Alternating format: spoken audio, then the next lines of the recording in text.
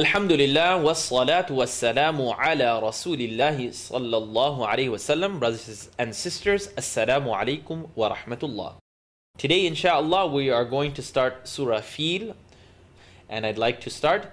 أعوذ بالله من الشيطان الرجيم بسم الله الرحمن الرحيم ألم ترى big mistake. ترى or ترى ألم ترى كيف فعل ربك بأصحاب الفيل؟ ألم تر كيف فعل ربك بأصحاب الفيل؟ أصحاب الفيل ألم يجعل bounce the جيم ألم يجعل ألم يجعل كيدهم في تضليل.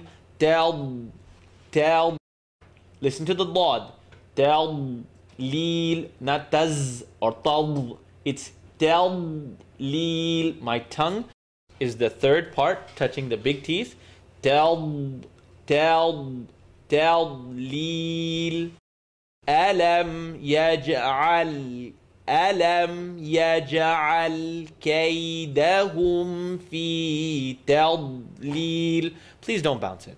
There is no way that I can police every letter that's not supposed to bounce. Qaf, ta, ba, jim, and dal are going to bounce when we put a sukoon on top of it. Do your best to put your attention there.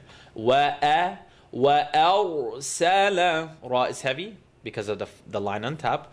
وَأَرْسَلَ عَلَيْهِمْ Look for the last rule of accents. عَلَيْهِمْ طَيْرًا طَيْرًا Tongue touch. طَيْرًا أَبَابِيل Ra is heavy. طَيْرًا طَيْرًا أَبَابِيل Watch the heavy Ra again here. تَرْ تَرْ ترميهم بحجارة من سجيل Let's look at it again. ترميهم ميم سكون followed by ba. Mim sukun followed by ba. Rule number four of rhythm. rule number four and five, and mim sukun followed by ba and the baby meme, the sound vibrates between your lips. ترميهم بحجارة من سجيل بحجا بحجا Now what comes after the jim? That's something I'd like you to look at. That's here. Jim, ra is heavy. بحجارة راتم ميم شدة full nasal sound Tim min sijil. This is going to be tongue not touch, nun sukun followed by seen. Seen is not in the throat. فجعلهم كعصف مأكول فجعلهم كعصف مأكول فجعلهم make sure nothing's stretched here كع صاد is heavy كعص كعص في مأكول make sure you don't press it like that it's going to be في مأكول remember the hamza it's the second to last rule of rhythm when you put a sukun on top of hamza it makes a sharp sound مأكول فجعلهم كعصف